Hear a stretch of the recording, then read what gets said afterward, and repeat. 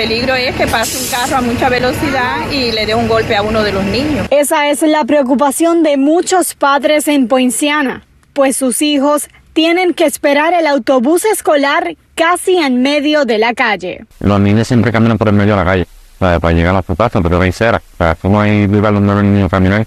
Pero este problema no es nada nuevo pues Cintia Dávila vivió la misma situación con sus hijos hace casi 20 años. En el 2005 cuando yo me mudé aquí no había la población que hay hoy día. Yo dejaba a mi niño aquí en esta parada escolar y yo me iba a mi casa lo más tranquila, pero yo no puedo creer que hoy día con tanta población tanta población aquí en Poinciana no hayan tomado acción y hayan hecho aceras para estos niños que toman el autobús escolar.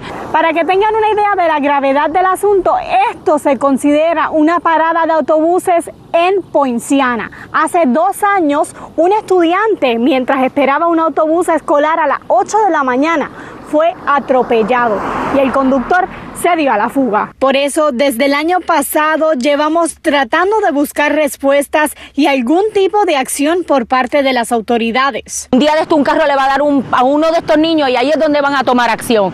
Eso es lo que tenemos que evitar. Y aunque se están llevando a cabo algunos proyectos para peatones en el condado Osceola, Ninguno de ellos está pautado próximamente para remediar la inseguridad de las paradas de autobuses en Villa 1. Para Noticias Univision Orlando, Laura Molina.